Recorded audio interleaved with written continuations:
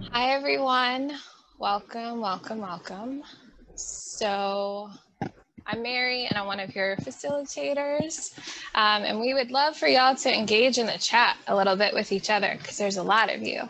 So, if you could share where you're logging in from and include the Indigenous land if you know it. I'm on Creek, Cherokee, and Muskogee land. And if you are like, I have no idea what that is, there's a link where you can click on that and put where in the world you are and it will tell you. Share your pronouns, um, just in case somebody doesn't know how to pronounce your name. Um, what brought you to this workshop? Why are you here? And um, if you're here as an organization or as a DEI consultant, that just helps us get to know y'all a little bit more. This will also be live broadcast to YouTube as well. Um, and we will make another mention of that before that happens.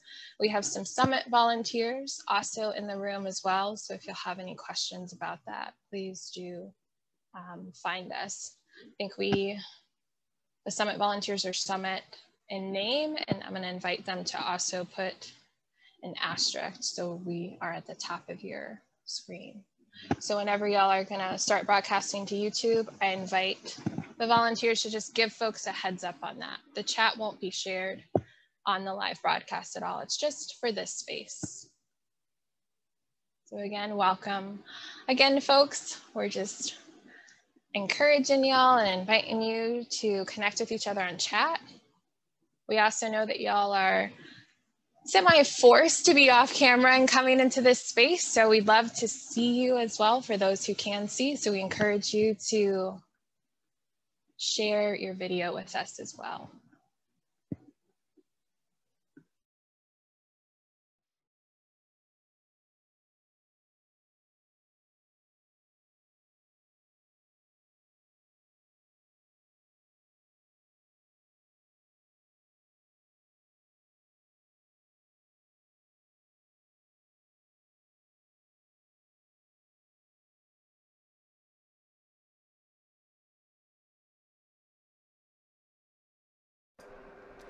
Uh, Crystal, I'm from Jenner, California.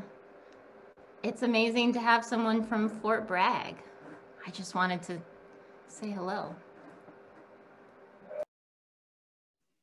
Yeah, Liz is also co-facilitating this workshop with me. She's not just a voice in the space. Um, so thanks, Liz, for being here. So again, welcome, folks. I think folks are steadily coming in. We encourage y'all to be on camera just for this introductory part so we can have y'all connect with each other for those that can see and for those that are able to also write in the chat and see the chat. Um, we're just sharing a little bit about yourself. So welcome to this workshop. If y'all could just share a little bit more about where in the world you are logging in from, what brought you here, and if you're here as an organization or as a DEI consultant.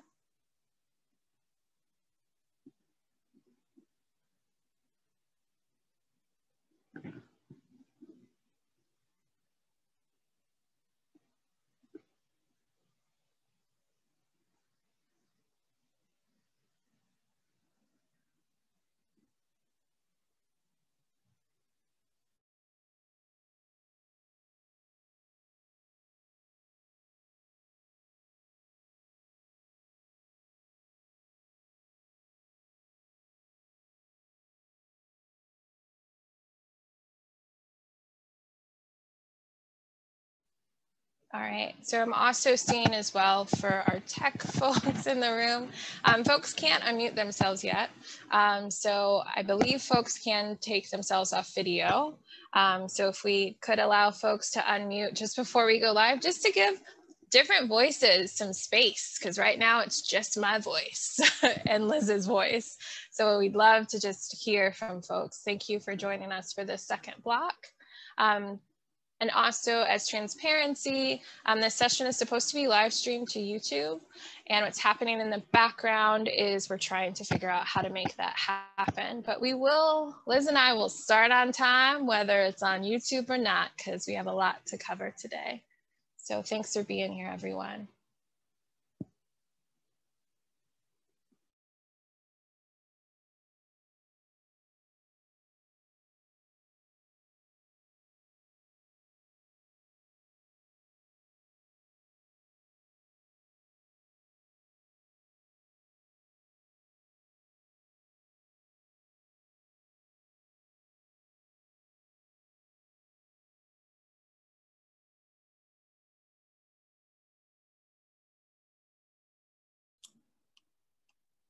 Hi, Mary and Liz. This is Bonnie in tech support. I'm understanding that we don't go live to YouTube for concurrent sessions, but that the sessions that have been have recording permission like ours will be posted on a later date. Great. Thank you for that, Bonnie. Sure. Liz, were you going to jump in? Um, yeah, I was just going to say hello, everybody. I know Mary's been talking. Um, I'm really excited to get to work with you for the next um, almost 90 minutes, 85 minutes now, and we'll do more formal introductions in a little bit. Um, but thank you all for being here on this beautiful Saturday, beautiful gray Saturday here in Pittsburgh. Yeah, so in a, we're just gonna hold space maybe for another minute. Um, don't feel like once we begin with other parts of our workshop um, that y'all are still encouraged to introduce yourselves off to the side to the chat. But Liz, if you wanna bring up the first slide, that would be fantastic, the next one. So again, welcome everyone. Thank you for being here. Um, we have a pretty high capacity for this workshop because um, so folks will probably come in throughout. So you might hear us introduce some bits again and repeat some bits. So appreciate y'all for being here on time. Again, my name is Mary and I'm on Creek, Cherokee and Muskogee land and the facilitation of this work, the creation of this work is on the indigenous land of the ancestral homelands of Creek, Cherokee, Muskogee, Osage, and Shawandasse peoples. and we want to share that and be transparent in that because um, land acknowledgement, it can be very easy to say, great, this is the land we're on, let's move forward with our workshop. And instead we want to be intentional about offering resources and ways for folks to connect with Indigenous peoples. You're encouraged to do that. You're encouraged to identify and find your Indigenous land. And with that, also support initiatives that are focused on returning land. And you can read more about that at nativegov.org. Thank you, Mary. Um, so uh, a little bit of intro to this workshop. Um, I just want to, we want to be transparent um, about how this is going to work today. We are recording, um, and we also realize that we are we're going to be asking you to share experiences from your organization, from doing DEI works, and trying to create sustainable change in your organization. And so um, sometimes that can be tricky, right? If you if you know that there's going to be a recording that's put out there for the public. I believe that we have set it up so that the recording will not capture names. Um, if we could, I, I think that if we could just get a confirmation maybe in the chat that that is what the setup is going to be, that would be beautiful.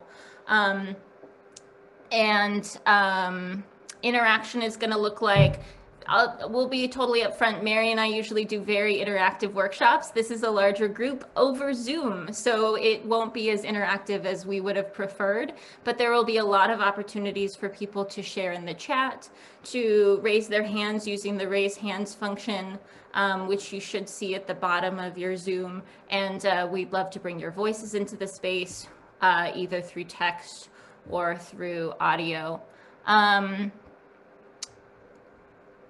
uh, just want to refer folks to the code of conduct of the summit and really give a big shout out to our volunteers, Bonnie and Josh, who have set up all of our technical needs and been doing a lot of back and forth with us all week. Um, we're really grateful for the time and energy that they've uh, offered to us um, during this time. So thank you, Josh and Bonnie. You can't see them, um, but they're there in the background. Um, yay. Yeah, thank you for that. I also want to highlight as well that we will have a slides show up the entire time. I'm sure for some of y'all that might be that might bring on some groans, and we recognize that. Um, one of the intentional reasons to do that, especially for this particular workshop, is uh, Google Slides offers closed captioning. So for those that might have access needs around that, that's also a benefit of having a slide show up consistently, is because it allows different folks to be able to meet their access needs as well. So I just want to draw attention to that. And that's coming through at the very bottom of the slide for those who can see. Are you going to add something, Liz? No, thank you for mentioning that. Yeah, of course. So I'm Mary again. Uh, Liz has just spoken. Um, and what we just want to share a little bit about what brought us to this work, right? Because this is a very intentional workshop that has come out of conversations that Liz and I have both had with each other, both separately in doing diversity, equity, and inclusion consulting and work that we have done together around diversity, equity, and inclusion consulting. And what we have found is a result of this workshop, and we want it to be transparent in offering that work. And that's what brings me to this work in particular. It can take a lot of time and can sometimes feel like a lot of wasted energy when organizations don't know what they want. And that's both missed opportunities as a consultant and missed opportunities as an organization to actually get at the heart of what you need. So that's what specifically brought me to this particular workshop. Um, and in terms of what brings me to DEI, diversity, equity, and inclusion work is as a person of color, I think that until folks actually learn to see each other as humans, there will unfortunately always be a need for this work. And one day I hope to no longer have to consult around diversity, equity, and inclusion because people can feel safe and comfortable to show up fully without um, dire repercussions in doing that. Thank you, Mary. Um, so my name is Liz Foster Shaner. I uh, run a collective called Theater of the Oppressed Pittsburgh, and I'm also a consultant with Inclusant. Um, I have come to this workshop with Mary through a lot of conversations that we've been having leading up to this time, um, mostly around some of the, um, for me, the questioning of what what is the impact of this work with DEI consulting? What impact are we really having? And I think especially for me as a white woman, um, am I just profiting off of DEI consulting work or am I creating sustainable, lasting change that is going to make a difference? So really thinking about my role um, and my identity categories around that. Um, I do a lot of work, uh, interactive work around um, identity, social and personal identity, um, and uh, am really trying to think about, you know, how we can bring people's full identities into their organizations, into their work with community, into their relationships with each other, at the same time that we're also keeping an eye on the systems um, that are in place that are preventing folks from doing that. So the interpersonal and the systemic. Um, we also want to acknowledge and appreciate other people who have helped us develop this workshop. Um, as we've been coming up with our framework, we've been sharing it with other folks in our community um, and trying to get feedback, people who do this work, people who do this work directly or peripherally. Um, and so these are just some of the names uh, that we wanted to bring into this space. These folks do amazing work. Um, please reach out to them if, or, or Google them if you want to know more about what they do. Um, and uh, they've they've provided some great insights into what we're going to share, either both informally and formally over the last several months. So, um, this is still me, yes? Yes. So, uh, before we really launch in, we're talking about uh, sustainable change. We're talking about change related to diversity and equity and inclusion within organizations. And we've got a lot of thoughts about this that we are going to share with you. Um, but we also wanted to ask you before we begin, what does, what does organizational change look like or mean to you to bring your voices into the space? So take a moment to uh, come up with your thoughts around organizational change. It could be a really specific practice. It could be an interaction. It could be big systemic cultural changes. Um, but what does organizational change look like or mean to you related to diversity, equity, and inclusion? And if anyone wants to share verbally, go ahead and raise your hand. We can bring your voice into the space as well. So I'm also seeing now in the chat, and Liz, we can just bounce off each other with sharing some of these things in the chat. Apologies if we don't get to everyone. We're just bringing some voice into the room um, in terms of a response to this question, change in administration, giving up power. Thank you for that, Dana. Um, uh, I realized that I just said a name, so I'm going to stop doing that and just say the content um, as well. Um, so it's not, yeah, so it's not included on the recording. So thanks for that. Um, rethinking our organizations at every level, giving the organization the tools to raise awareness, transformation of relationships, culture and policy change using the antidotes of white supremacy culture, culture change that impacts everything, relationship policies, how we do things, and then there's some other things as well, Liz, if you want to share out. Mm-hmm. Um, centering people who are previ- previously marginalized uh, so that work is enriched and improved. So bringing in additional voices. I see a lot about making it a big a, a part of the way that the system operates uh, daily and intentionally um, redefining cultural norms and executive presence to decenter white supremacy. Bringing the world more alive, building capacity to become more embodied and honest, more seeing each other, more wanting to listen and play and covering me up? And make worlds that work for all. Change that touches comes from the roots. Transforming the org is tangled with personal transformation. Yeah, right. So it's inseparable from uh, what what it change looks like for me uh, is also change for the organization. So that there's multi multiple levels of change. Mm-hmm. That's how I interpret that. Yeah, and there's a lot of y'all. So apologies for not being able to cover everyone's offer. So thank you for that. And please do continue to read what folks are writing in the chat. Liz, do you want to talk more about this, how this work and this cycle for us? Yes. So go ahead. Please keep putting your, uh, these will be recorded and we also will love to go back and look at the chat um, to, to see to see your offerings. Um, so for us, we've started to talk about organizational change that is sustainable, that it has a legacy and impact, um, that is effective, that is actually change that is working, right? That, that makes a difference, that is just, and not just in terms of the criminal justice system, right? Which is not always what I would think of as just, but that is um, fair and equitable and ethical, that keeps people people's um, that that keeps in mind for me ethics means um, am i causing harm right and i think about this a lot as a white person doing this work that sometimes in doing this work although my intentions could be uh, very positive and and righteous um, the body that i am in could cause could be causing harm in a way that i have not considered so that's that's one way to think for me about ethics but but what is, are we causing harm? What does harm look like?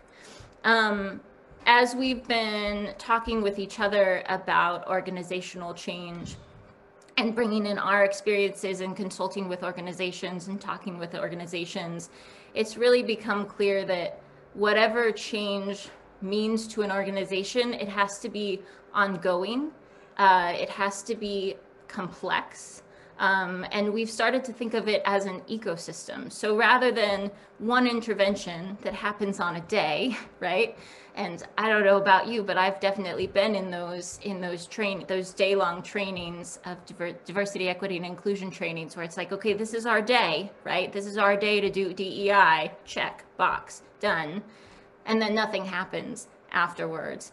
Um, we're thinking of change as a living, breathing ecosystem that is interrelated, that is dynamic, that is complex, where a change that you make on one level impacts uh, other changes that you make uh, uh, in different parts of the organization.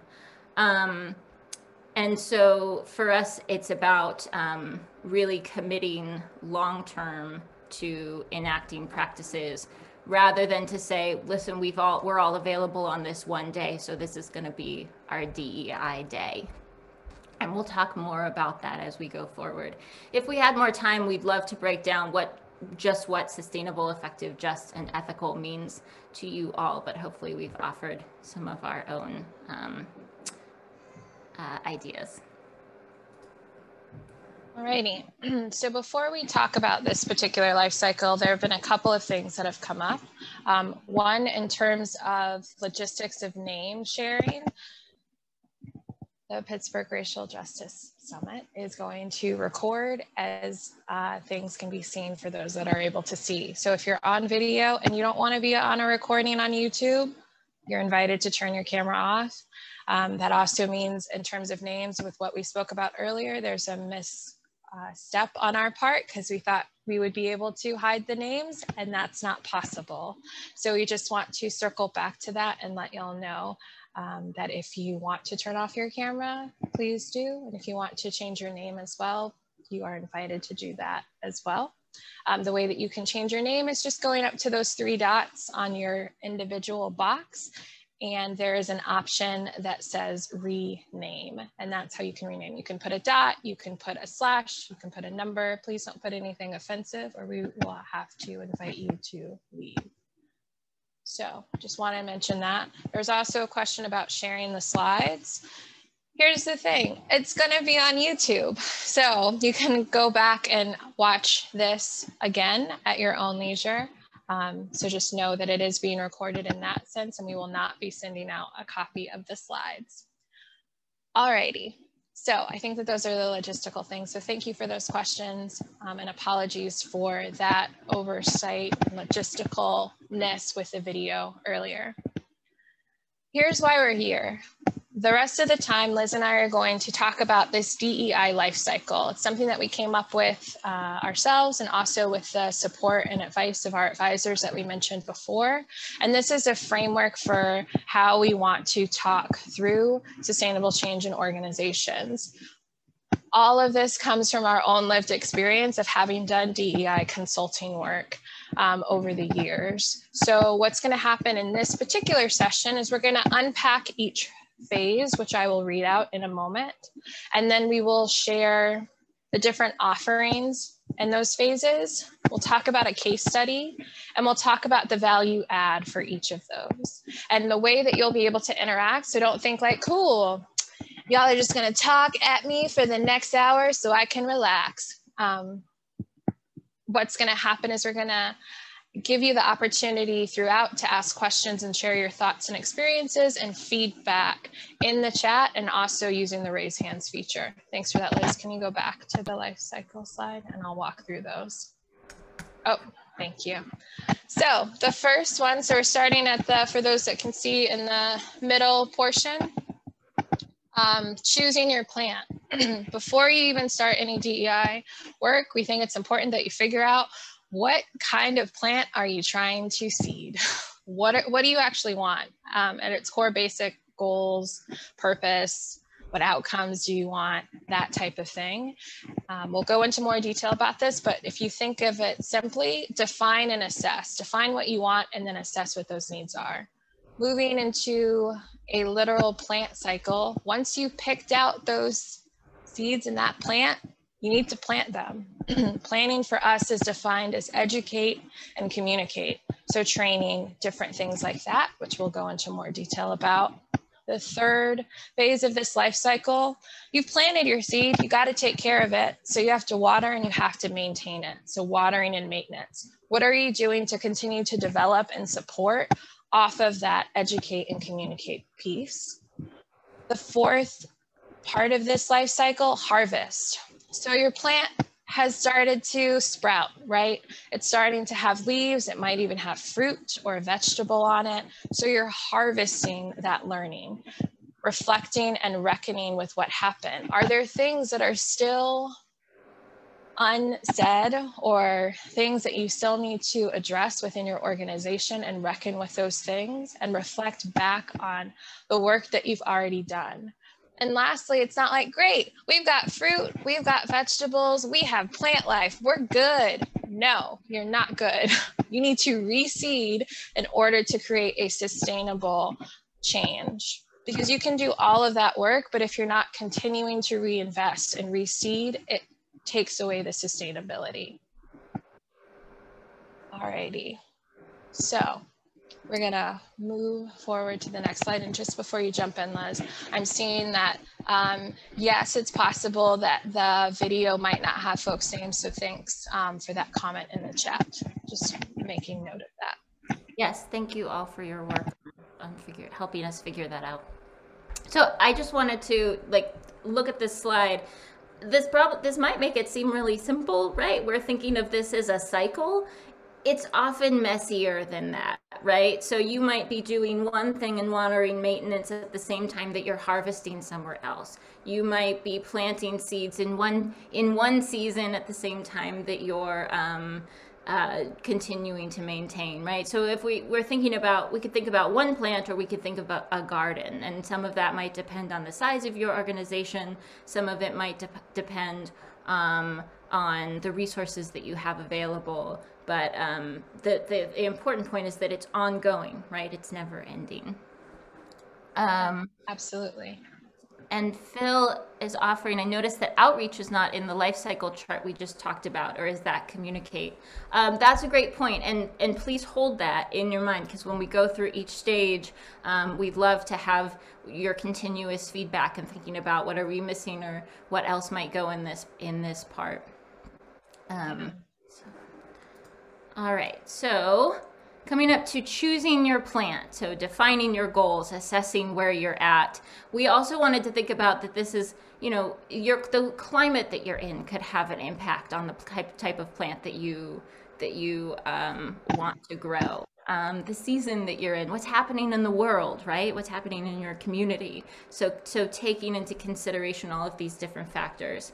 Um, some offerings of what might happen during this stage. We do not believe that this is absolutely complete, right? So when we say these offerings, these are just some of the steps that, that you might think about including.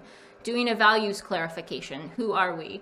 Prioritizing your needs, um, assessing the climate of your organization. So how are folks feeling about the organization? Do folks feel included? Do folks feel excluded? What's the history of the organization that's bringing you to this point?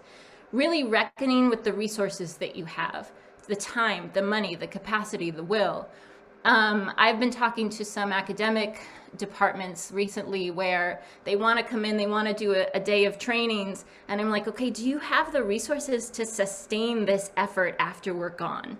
Because if you don't, you might end up causing more harm when folks realize that that's all there was, right? So really think about, is this the time that you're ready to start this initiative? Not that there's not, not that there's nothing you can be doing at this time, but um, you know, thinking about just how you're going to start and how you're going to back up and sustain it after after that day of training um, how you're going to engage leadership. And all of the research says that you need to engage leadership directly um, and continuously in this process so that they have ownership as much as everybody else in the organization. So, yeah.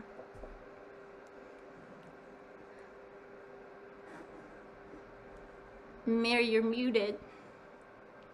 Yeah, no worries. Thanks for that. So basically the way that we've broken this out, this formula that you're seeing in front of you of offerings, case study, and purpose is going to be replicated for each phase. So Liz has already talked about the offerings that can come up in a phase like this, and it's not an exhaustive list, right? So if you're like, actually, I did this in my organization, or actually, I do this as a consultant, please do feel free to put that in the chat. You're encouraged and invited to do that. So now when we think about moving to case study, this is an actual client that I had previously, just to show you how these offerings have shown up. So define and assess, this is picking um, that seed, right? Deciding what you actually want to plant. So as a consultant, it's a client meeting to assess the goals. What do you want to do? What does that look like? How long is this gonna be? Um, thinking about um, what might be some of the outcomes that you want to have. Getting all of that out there helps to create a better foundation to lay the groundwork to understand what you're actually working towards in the next phases. It can look at things like a pre-survey for staff, a pre-survey for board of directors if your organization has one. And in this particular case, it was working with a neighborhood organization. So we also surveyed the residents. So all of those different stakeholders, all of those different um, populations of folks are important to understanding and defining and assessing what you actually need to do. What is the problem, so to speak? What, are, what is the thing that you're responding to? Lastly, being able to then take all of that information and use that to inform and define values through coaching.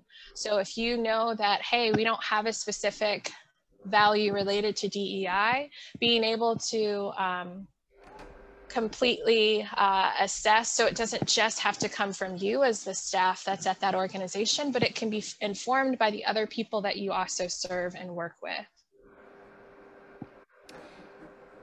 and we have a question from Dana who does the defining part of the cycle. And I'm wondering if folks want to respond to that in chat, um, that who might be uh, part of this initial step if I'm reading your uh, question, uh, interpreting your question right, Dana also realizing that I'm saying names. Yeah, it's a, this is part of, yeah, Liz and I typically try and be inclusive in saying the names, so apologies for that. Um, also, it would help us and I think best serve y'all if you do have a question, if you could just write question in capitalization because we love the comments and we don't want to feel like we might have missed something. Mm. So while folks are thinking of that, I have a response to that, Liz, unless you have one. Great, go for it. So the defining, I think it can, it, that that's part of what that client meeting is for, right?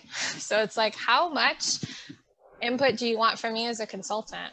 How much um, authority and autonomy do I have? How collaboratively do we want to work together?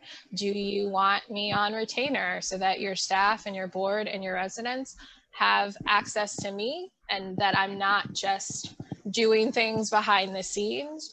Or would you rather me be behind the scenes and not have anybody know about anything that you're doing until the very end of this? So I think it, it's both a yes and it's deciding and defining that with the organization and also asking them what they want. Because some folks just want a consultant to come in and be like, all right, this is what you need. Bye. Other folks like to be a little bit more hands on. Mm-hmm. And the research that I've done points to the more people that you have involved in that defining stage, uh, the more engaged folks are, right? The more ownership there is across different levels of hierarchy and, and departments and whatnot. So I think we have a question. We're curious to know for folks for whom this is relevant, um, what have you done or plan to do in this phase? What offerings do you have? If you're in this phase, if this, if, um, if you've already done this phase or you're currently in this phase, what are some of the, what are some of the action steps that you've taken?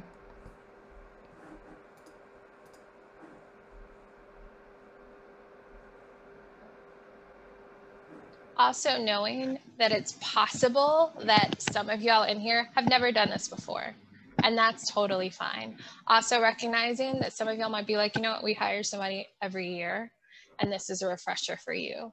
Mm-hmm. Wherever you are is exactly where you need to be in responding and engaging in these questions. And also know that these questions are intended to have it be a little bit more interactive for y'all to both hear what Liz and I have to say and also hear from this collective group of folks gathered in here what you also think. Mm-hmm. So I see a couple folks have created an uh, interested subgroup. So I, I'm guessing this is people who are already engaged in the process, who are already committed or interested in, in making this change. And so maybe getting them on board to keep the energy going um, is a great idea. Um, multiple meetings, trainings, workshops. First one or two part as part of this stage to really gauge where the whole group is at. So yeah, really figuring out bringing people together in conversation and thinking and questioning. Uh, a focus from moving from a focus of diversity to inclusion, right? That's an important breakout, right? If diversity is who's in the room, inclusion is do they feel like they're even a part of the room, right? Do they even feel welcome in that space? Yeah, so Liz, I'm going to jump in for time because we have four other phases to get through. If you, before we go to the next one, do you mind just going back a couple slides because there was a question from someone about could you list the phases again? Yes. So choosing your plant, that's what we just talked about, defining and assessing, planting seeds, educate and communicate, watering and maintenance, develop and support, harvesting of reflect and reckon, and reseed to sustain.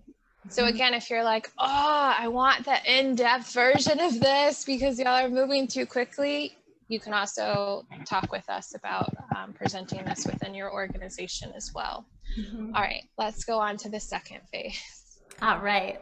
All righty.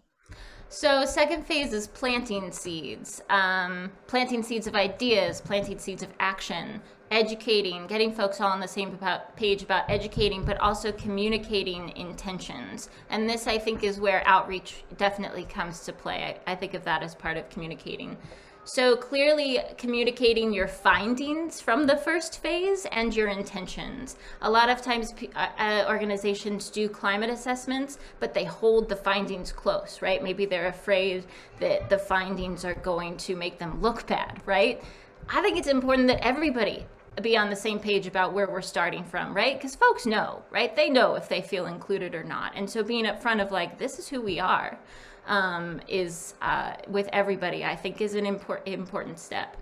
Um, training, starting with leadership, making sure that leadership is on board from the beginning and has all of the essential training, and then bring in other stakeholders, so staff, board members, uh, any community orgs that you partner with, etc and thinking about fostering in an ideal environment. So maybe it's about uh, education and making sure people have a, a, framework for thinking about oppression and diversity, inclusion, et cetera, but also that uh, there's community building in that training as well, and people are starting to take creative risks and getting to know each other in new ways.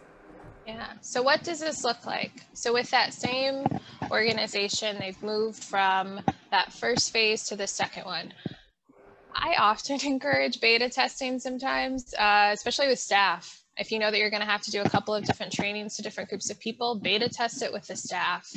And then you could apply those lessons learned to training with the board. Um, also thinking about collaborative training with similar community groups. Are you finding that you work at an organization and you're like, you know what, just across the bridge or down the way, there's three other organizations that are doing similar work to ours perhaps combining these trainings. So again, it becomes less of just you singularly as an organization doing this work, and it becomes more collective.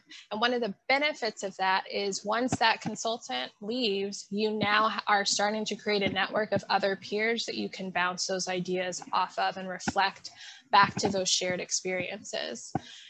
Um, and lastly, with this particular client, um, doing implicit bias training in partnership with the police publicly for the community. So again, if you can go back to the next slide, but the one before it, um, and thinking about defining. So you already talk to staff, you talk to board, and you talk to those residents, and then go to the next slide. So because you've talked to those specific populations, you're also educating those specific populations. It's not like, hey, I serve you, let me suck all this information out of you and you get nothing. No, think about how you can, what can you offer back in terms of education to the folks that you're serving, in terms of the folks that you're also, the whole purpose of your organization. How can you bring them in as part of this process? So the purpose of this phase is to build a foundation of knowledge and a shared language for future collaboration. Because at the end of the day, if you're getting your entire organization to go through training, you're creating a base point for them to refer back to. And remaining transparent throughout that process in order to hold leadership and others accountable for change. So if it's clear that like, hey, it's not just this small department that's doing this work, but instead it's actually the people at the top, so to speak, that inherently creates some amount of accountability. So in thinking through this, very similar questions. Um, in terms of plant, what have you done or plan to do in this phase? Are there things that are resonating with y'all where we're like, actually, we also did this other thing? Um, and what might be the purpose of this phase for an organization for yourself? And any other comments that you might have about this particular phase that you want to offer in the chat?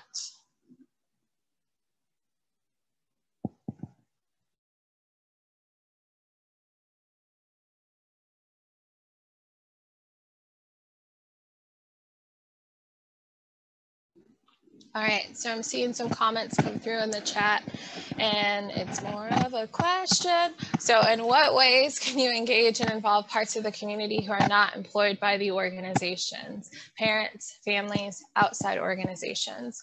This is a question for us, for me with that particular client, that was uh, clear from that initial assessment meeting that they wanted the folks that you're talking about, parents, families, folks outside of the organization to be part of that process. And you can encourage that because again, if you're a nonprofit and your focus is people, how are you serving those people beyond what you're delivering to them, especially when you're inviting in someone to offer specialized content? Yeah, I also think of, you know, that depends on the level of communication and the type of communication that you've engaged those community members in already, right? Do you have reciprocal feedback already set up so that they have a way to to to respond to you and you have a way to respond to them or is that something you actually need to start, right? That you maybe you need more communication from uh, with those with those different constituencies or stakeholders. Yeah, so I'm seeing a couple of other questions come in. Um, and I also just want to highlight that folks are saying about this particular phase of this life cycle is just um, intentionality around building relationships, prescribing micro learning training to help raise awareness, um, creating curriculum for the year and incorporating that into meetings and discussions, and also thinking about decolonizing curriculum, libraries, classroom structure, and that, that that can just be the beginning. And then there's a question of what would collaborating with a similar community group look like? would that be a training with a similar organization also in attendance for reflection? So with this particular case study, it was um, a group that shared a similar mission um, and it was their staff, both staff, sets of staff from both organizations were brought together to do a training that I led. And in terms of um, an attendance for reflection, we debriefed and we talked about it afterwards. So they become part of that process. And again, those boundaries can be set up and decided and those also don't have to be hard boundaries, right? If you're like, oops, we forgot to include partner organizations, you can always go back. I don't want y'all to also think as well that, as Liz mentioned, this is complicated, it's intersectional. Some of y'all might be starting in one phase and have to go to another one. This is just the order that we have found that makes the most sense to us in terms of delivery as consultants in this work.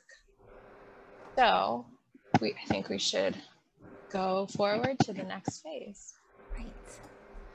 Um, so watering and maintenance. So continuing to develop and support the efforts, making sure that these little seeds that you've planted can grow and sprout and take root. Um, so doing train post-assessment trainings, and that's a checking in of uh, what impact are we having, where are things landing, what are we missing. Um, developing a value statement. So We've seen who we are. We are starting to get a sense for, of who we want to be, but let's plant those roots. Let's say this is what we value and commit to that as a way to hold um, ourselves accountable. Um, and then that goes to accountability through systems and practices. And I think that's where real transparent communication and relationship building is important, that there's accountability throughout this process. Yeah, and what accountability looks like is going to be dependent on the organization because it depends on who is actually involved. How are you holding yourself accountable if your board of directors aren't involved with the process from the beginning? What happens if um, a different person that uh, should have been there, that's a decision maker, isn't there? So just know that accountability is I, is super important. And I think probably one of the hardest things for organizations to actually do and maintain. Um, what we have found in terms of this particular phase with the case study is doing a post survey. So there's a question earlier about reflection. That's what this looks like for us. You did a pre-survey. So the other balance of that is to do a post survey and to understand what have we learned from this process? Um, what still needs to be done? Where are the gaps um, in terms of things that have been misunderstood?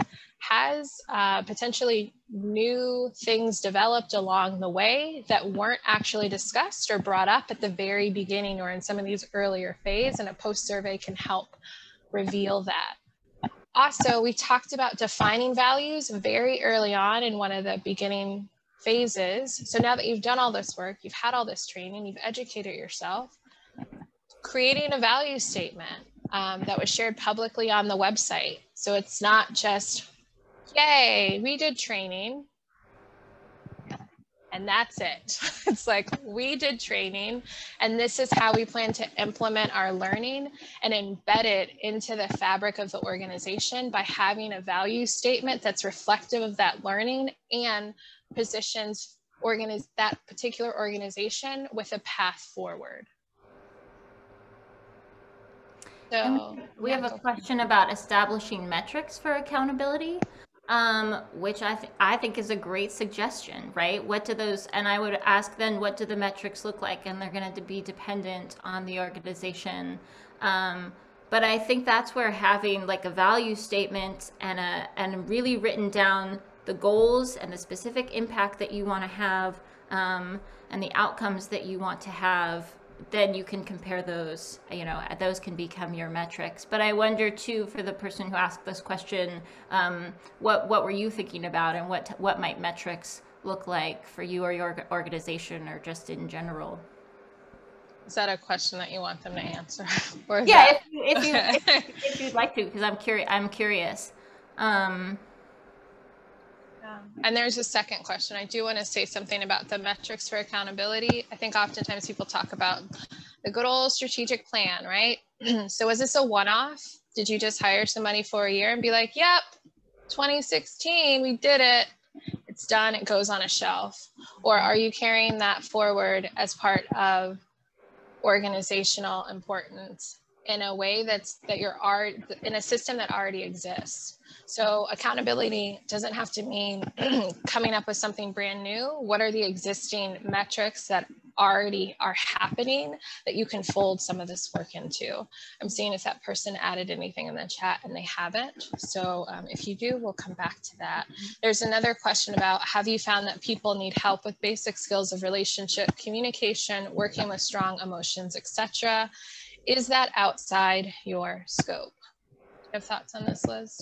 Yeah, I I think of that in the planting your seeds phase. So the the training and the workshops that you that you engage in are not just knowledge and content based, but that are also about practicing together. And so when you offer these these ideas and concepts, you give people room to to to play and and and discuss and really um, try to figure out what that means to them um, in, in, in, interactive ways. And it's also part of fostering an ideal environment, right? So being able to talk about race in an uh, uh, in certain organizations can be really hard, right? Some organizations are like, we don't talk about race. And so even just starting to have that conversation is laying the foundation so that you can bring the, these things out into the open. Um, All like, right. So yeah. I think we are in the fourth phase. Yeah, we had. Uh, when does the post survey occur? Uh, I would do it a couple weeks down the line. I think sometimes it takes a while for, for things to land, but it's also tricky logistically because sometimes you lose folks or interest, or people are like, I don't even remember what happened yesterday, especially in pandemic times. So um, you know your audience best, I would say. Yeah, and I think it's also both goes back to style too. For some folks, um, they want a survey throughout, and there's different like survey doesn't have to mean extensive 20 question survey about the entire process each time. It could be what questions are you asking at the end of training? That's a way of getting uh, feedback. Um, how are you checking in with that particular organization and client? Are you finding um, that you're only talking to them at the beginning, you're executing, and you're only entering into a conversation with them at the end? That limits then that type of accountability and that kind of check in that could happen throughout because you're consistently talking to them because you're on retainer and you are available to have those conversations. I want to underscore as well that when I'm talking about availability of consultants, there's a cost for that, right? Because consistently, if you're having what seems like a 10 minute conversation with a client, you're probably imparting a lot of your own expertise, skill, and knowledge, and there's a value add and what that offers to them beyond just the scope of a training or executing some of these other phases, which is why you'll hear me say often about retention. I was on retention with this particular client, and it afforded a lot more offerings and opportunities because they saw the value add and just having me be available to have those conversations if you're finding that a training goes left or is really awesome and you want to talk about it and maybe do something because of that and change the scope of the work, that can be a possibility through having that retainer relationship. So I want to underscore that too. There's also a resource that's been put in the chat as well um, about this specific phase and about uh, the conversation around metrics and demands, specific specific to theater. So please do check out that resource that's been included of We See You White American Theater Demands. And I think that's just a good example for any sector to see clearly laid out demands that you can then compare and, and use as a guide. Yeah, absolutely. So we are in the harvest phase. So go for it, Liz. Reflect and yes. Uh, thanks, Mary. Um, so assessing the overall You would think that this would never happen anymore after how many months of Zoom that we would never mute. Okay. Um, so assessing the overall evolution of the organization. So this is where all of that data from the first phase of choosing your plant is super helpful to know where we've been and to be, really upfront about where we started. Um, and then that you have data driven outcomes from that. So this is where we are, this is this is where we were, this is where we are now. Take a moment to celebrate. That's that's beautifully important. I think that uh, not a phase that we ever we ever really uh, allow ourselves um, to, to really appreciate all of the work and time and energy that has gone in, recognizing that it's not complete, it's never ending, right? But to just take that time to appreciate each other and yourself for the evolution. Um, and then to share, to share back um, your learnings and your outcomes with the broader, with each other and with the broader community. Again, keeping in mind transparent, reciprocal communication throughout each phase and that this is a part of that.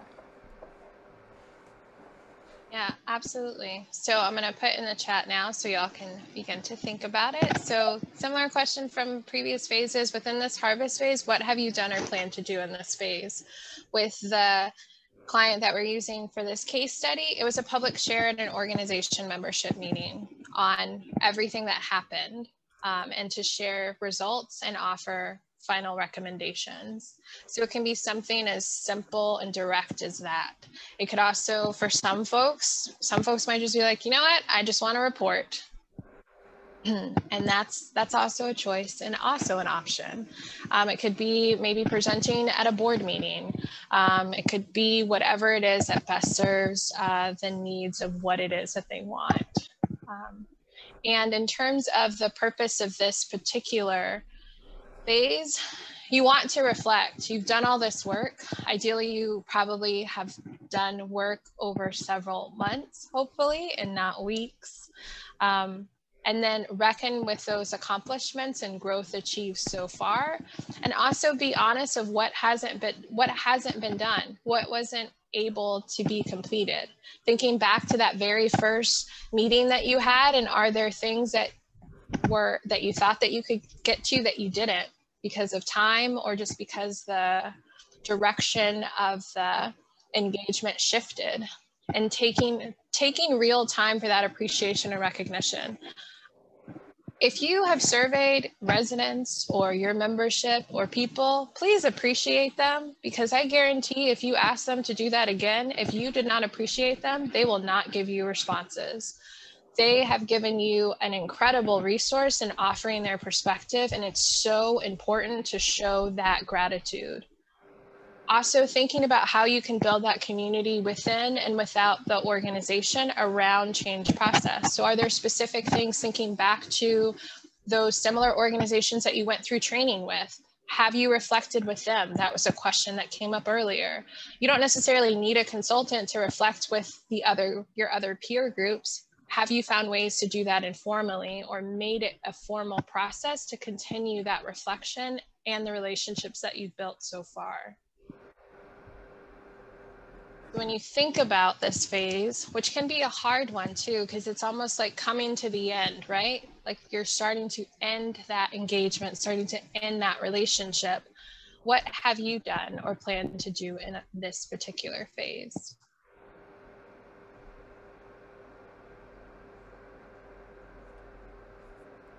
And we have one more phase after this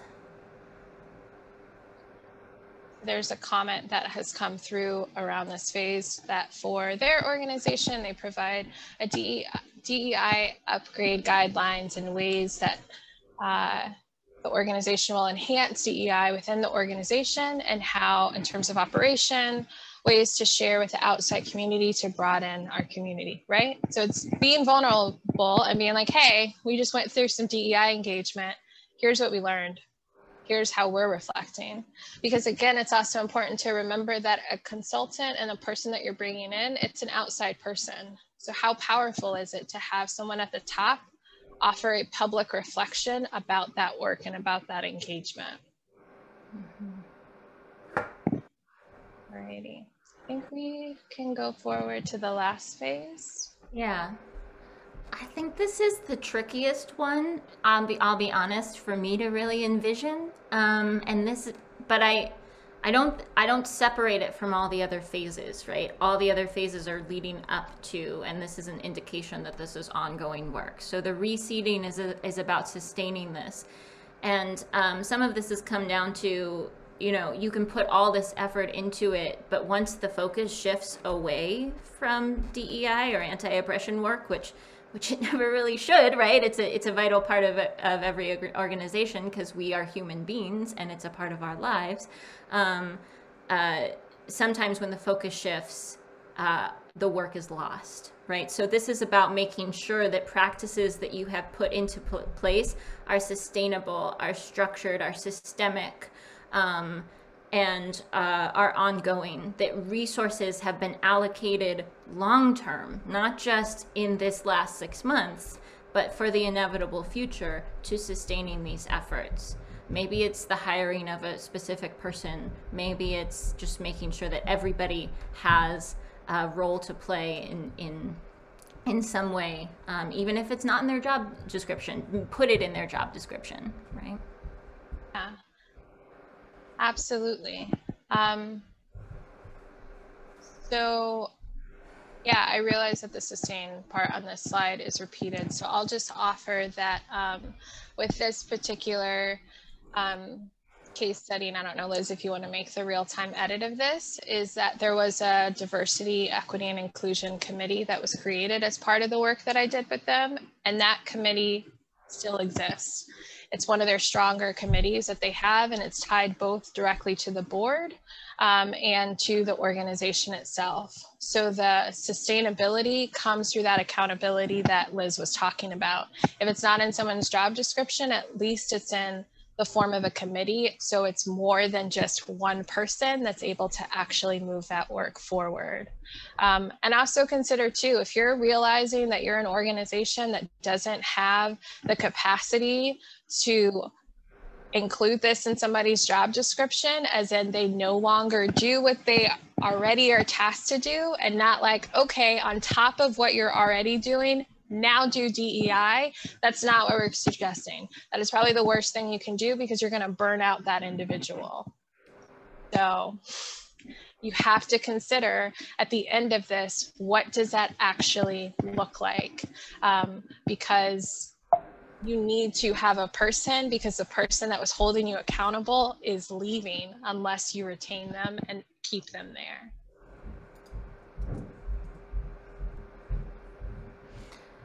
Yeah, I'm really curious to know what folks have done or plan to do in this phase.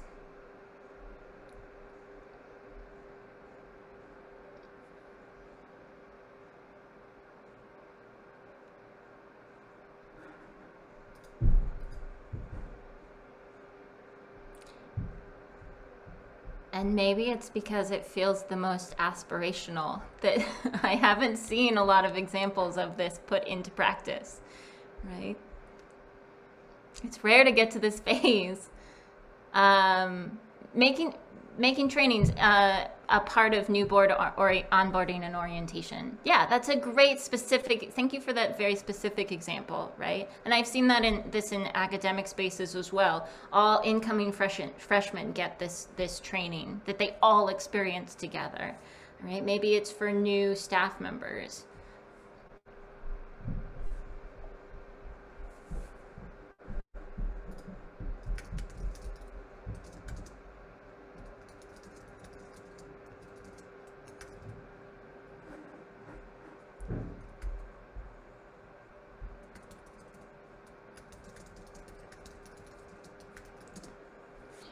So there's some other comments in the chat about this, ensuring that there's funding, right? So we're talking about hiring people, so make sure that you can pay them. Um, thinking about um, uh, thinking about um, how you're going to do the work in the future, um, capacity building in any kind of way, um, having a DEI board committee. Um, and again, these committees are uh, effective as long as they're actionable, right? Like a lot of organizations love to be like, oh, we have a committee that's doing DEI. Cool. What are you doing? What are you doing and how is it tied to the organizational goals, the strategic goals of the organization? Don't have it just be a placeholder. So um, there's a question on what's, oh, it just for me. Question on what's the relative value of a highly engaged, less motivated subgroup versus a broader but more diluted effect within the entire organization? I'm not understanding the latter half of that comparison. Uh, we've got a raised hand. Can we, uh, do folks, can folks unmute? Do you want to unmute yourself and, um, and share? It went away. I, uh, you might be talking to me. I, I posed the question in the chat. Um, uh, yeah, I was. But I'm not the person that raised their hand. There's somebody else out there who's raised their hand about possibly a different subject. Yeah, it's just a timing thing. So why don't you go first, and then we'll have the person that raised their hand unmute. So thank you for that generosity. I, uh, I'm working. Uh, I'm part of the leadership for a, a, a a group, an organization which is all uh, self-selected members, a club. Um, and I'm really interested in this space. I've been trying to organize some efforts within this space. I find that there are certain people within my club who are pretty receptive to it and are starting to take action and, and meet with me and, and work on surveys and so forth. I wonder about whether it's it's more a better use of my time right now to focus on the people who are already pretty engaged or to make sure that everyone is aware and everyone in the in the whole whole organization is um, changing just a little bit you know or or aware just a little bit. Like is it is it is it better to focus uh, tightly or to, to spread your message and to try and make sure that everybody's aware? Yeah i don't I, I think if folks have, I, I'm sure there are a lot of thoughts about this. I think it really depends on your organization and the capacity that you have, right? I worry that if it's too diluted, um, it won't really have much of an impact, right? That's those like two hour DEI training. It is a great question um, where it's like, okay, we did this box check. Everybody's got some little like you know drippings of, of water for their seeds but but do they have enough to grow sometimes it might be uh, Im- important really to foster th- that community of folks who are already really engaged and also to give them the resources that they need to move forward Um, so I don't have an easy answer. I think that that's maybe something that might cl- come out in the climate assessment is like, what are people's overall capacity to do this work? Um, but m- my hope would be as you move through the cycle that you're building more energy and capacity and will um, from broader from broader constituencies throughout. I don't know if that helps, but I have a thought on that. Yeah. So for me, when I hear that question, I think about secret secret DEI meetings. Mm-hmm. When you have a large organization and it's like, oh, I didn't know we had a DEI committee. Oh yeah, it's been around for like five years. How would anybody know that unless you're publicly talking about it? And why does it need to be small? because again, throughout this presentation, Liz and I have talked about integration into the entire organization. So even if you have a committee that's small that might not be open to everybody, that's cool. And how is it tying back to the organizational goals? How are you still continuing to uplift and do things related to DEI outside of that committee? So um, I know that there was a person that raised their hand and there's also two questions in the chat as well that I don't want to lose. So if the, the person, raised hand is no longer raised. So if the person that did raise the hand wants to get on, that would be fabulous. We're going to give you that space now, and then we're going to go to the two other questions that are in the chat.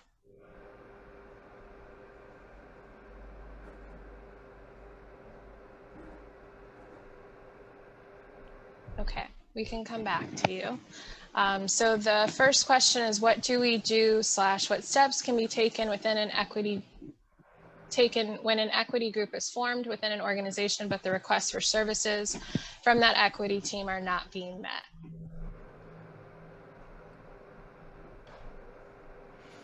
So I'm curious in this example how, how, what the role of leadership is in in this organization? Is leadership engaged? Right? If you don't have leadership engaged, then the resources will not be allocated. And so I think that's a really important reckoning with capacity and with um, with resources and with will. Um, what do you think, Mary? I think to me, it ref- I mean, to be completely blunt, I think it just reflects that uh, it's a band aid to a larger problem. It's like, hey, we're going to give you a group, but we're not actually going to support you. So to me, it doesn't seem like the organization actually cares about doing the work. They just want to create a placeholder to say that they have a committee that focuses on equity. But the accountability is lost when you aren't able to actually fulfill the request and provide services. That's what I I, I feel like happens. And that's unfortunate if that is actually happening. Um, and if there's a possibility to advocate and be direct without because there's risk, right? There's risk in being direct about, hey, you created this, we're doing work, we need the support. There's risk of potentially losing your job and speaking out and advocating for that. So that's a very real thing that sometimes happens it's unfortunate to hear that that's what's going on within your organization but that's how it lands for me. Mm-hmm. there's a second question that i saw there might be more. Um, in the board slash staff committee uh, with that example organization in the case study created what are they tasked with specifically? So it's everything from making sure um, when folks are like hey we want a diverse board. Cool. What does that look like? What are the what are the metrics of that? What are you looking for? Why are you looking for that? Having those conversations in terms of board recruitment. Also holding the, um, because of how organization logistics work, being able to uh, hold accountable the executive director on actually doing all of the things that they said that they would do as it relates to DEI. Like that is an, a built-in source of accountability to the top because of how nonprofit uh, organizations are just set up. Also thinking too about if you have other things that are happening within the organization, are they meeting the metrics or the recruitment or the populations? Are you reaching the people that you actually want to reach that should be part of that organization and thinking about that part of accountability too? Mm-hmm.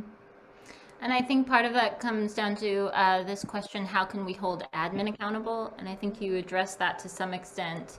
Um, and I think, again, this is where in the early phases of, of choosing your seeds and planting your seeds, you make sure that leadership has an as equal of a role as everybody else, if, if not more so, right? They should be taking point on this. Um, it's perhaps writing it into that job those job descriptions that this is no this is as important as any other factors. Um, if you have a board if that's how your organization works um, bringing them on bringing them into that process. What else? What else folks? Yeah. So here's what i'm gonna offer. What we can offer liz is we've been talking to y'all for a while and we appreciate y'all for listening and being here and being attentive. And thank you so much too for engaging in the chat.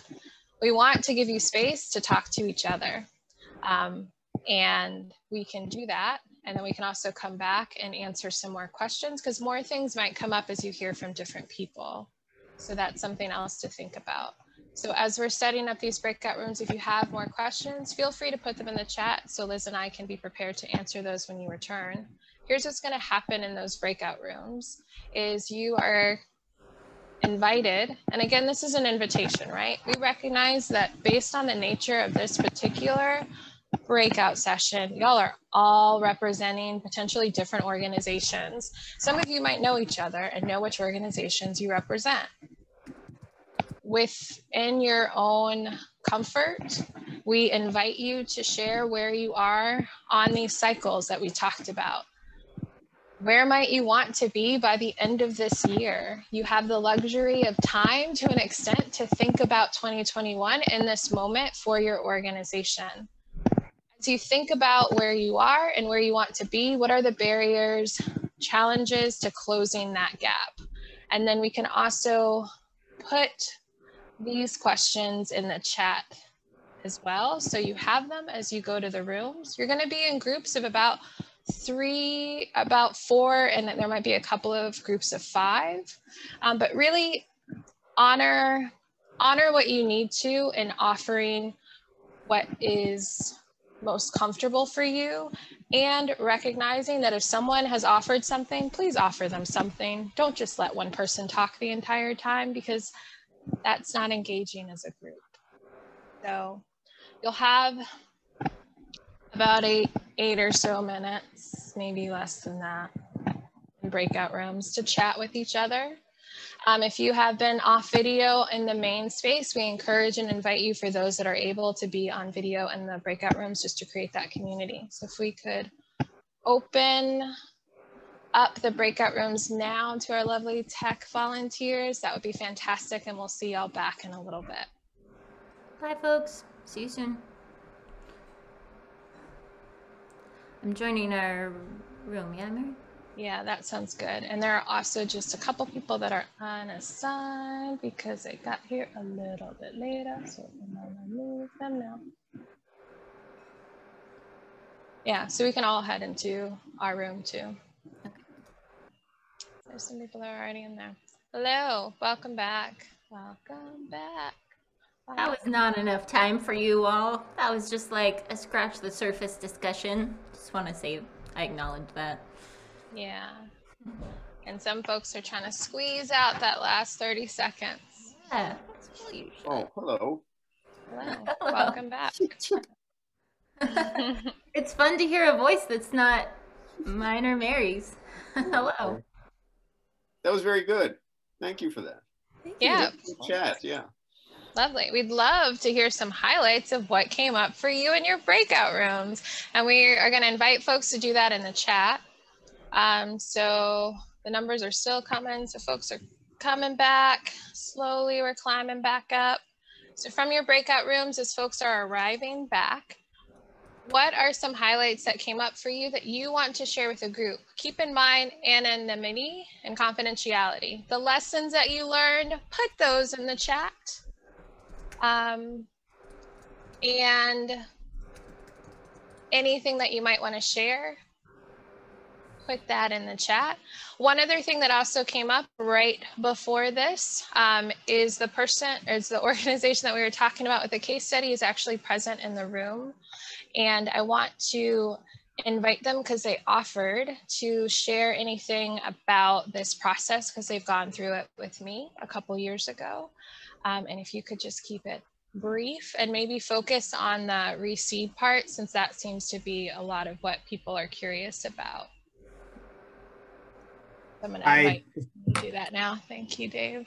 Thanks, Mary. Hi, this is I'm Dave Breingan. I'm the executive director of Lawrenceville United, and we were the case study. So this has been great to to watch this. Um, yeah, just um, yeah, I, I think um, Mary touched on it previously, but you know, um, having a consultant on retainer was really critical because, like she said, there were so many issues that came up during that initial process, things we didn't expect uh, things going on, other things going on with the organization where it was really instructive to have Mary's time. So I do think making a financial commitment to and a, and a time commitment to do it, um, and then thinking about you know how are you going to sustain this? And for us, like Mary talked about, um, having a committee that that had had some reps, you know, had formed and had um, actually been meeting and doing work making a commitment to sustain that and charging them with very specific tasks of of setting some of the like more concrete specific goals for the larger organization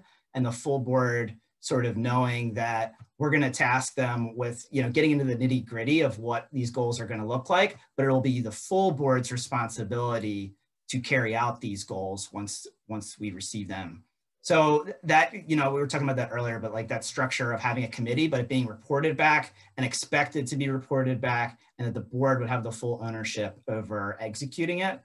Um, and then we're, you know, continuing to do the education too. Like uh, we're, we're looking to, we, we've uh, put it into our budget for this year to continue to have someone on retainer for this year. So we're continuing to reseed like was talked about.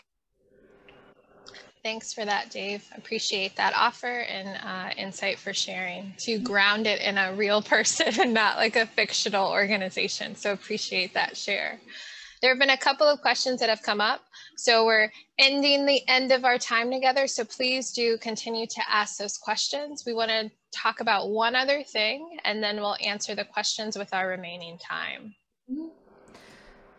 So recognizing that this is a lot, right? It's a lot of content, it's a lot of phases, it's a lot of steps. We wanted to leave or be close to leaving on something something tangible, right? What is one step that you can take to start the process of creating sustainable, effective, just, and ethical change?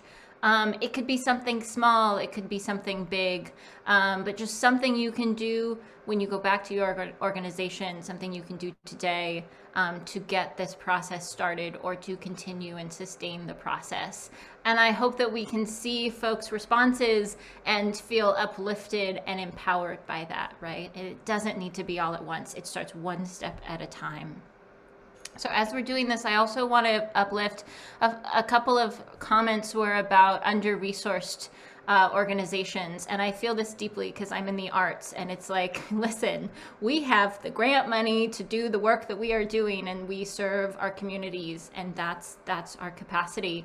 And so I think my question is, you know, what, what do you absolutely need a consultant for and what can you do yourself? What kind of capacity do you have in your organization to do that?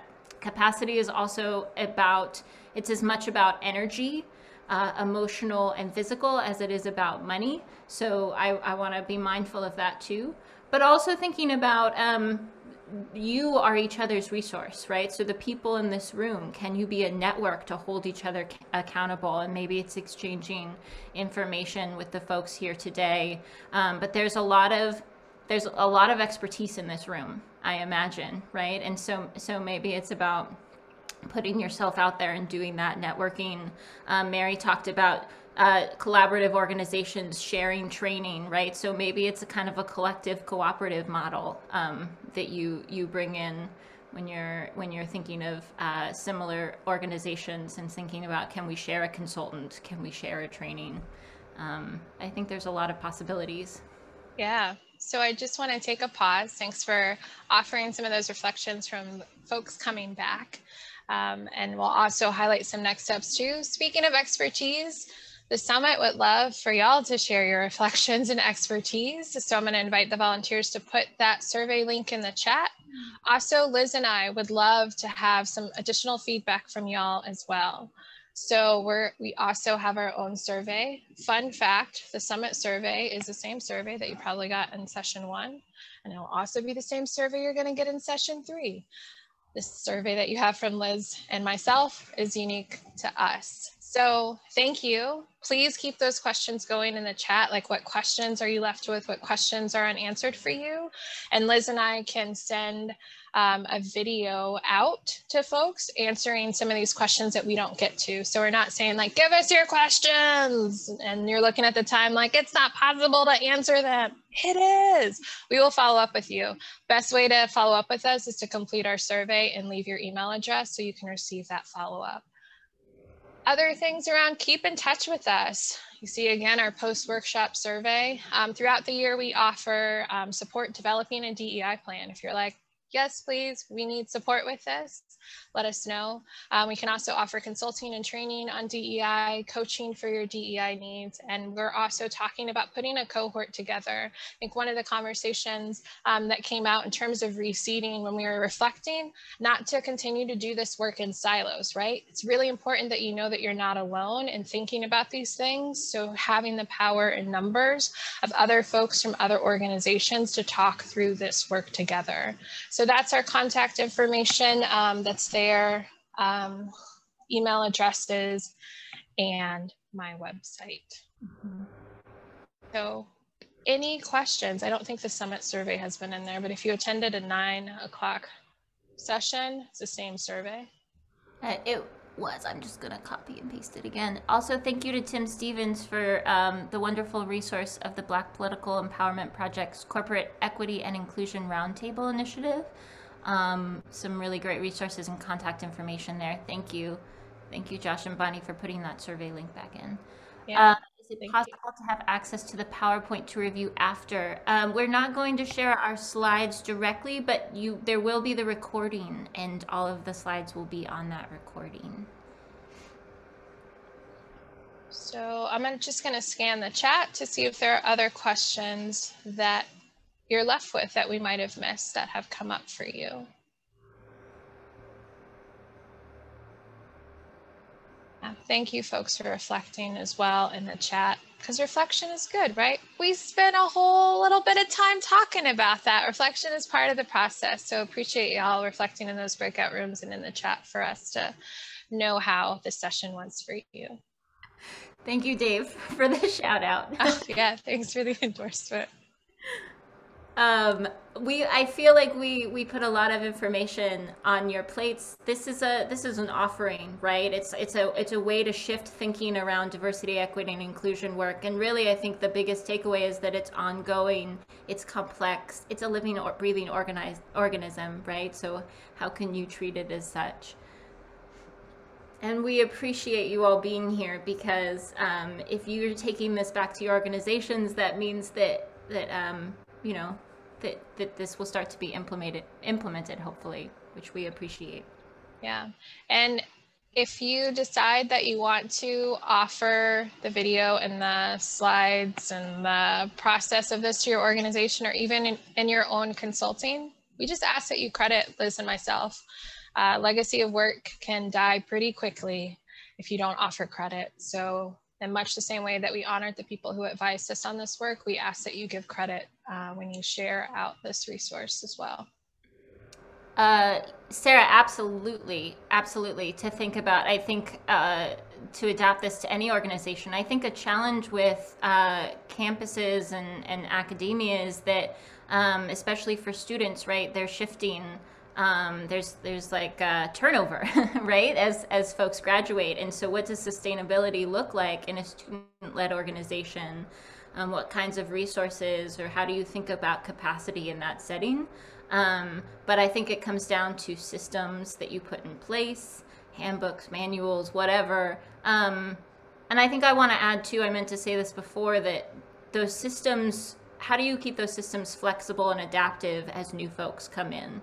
Right? As things happen in the world that change the priorities, right? So that your systems are sustainable, but they're not inflexible. Um, that's something I think we we didn't touch upon too much, but just to add another complicated uh, factor to the mix. Yeah, there's so much that we could add, and we appreciate y'all who have stuck around past time. We've stolen like one additional minute of your time from the summit today. So thank you so much for being here. Again, if there are other questions as you're leaving, Liz and I can follow up um, in a video chat about it. So appreciate y'all for being here. Thank you, and please do enjoy the rest of the summit.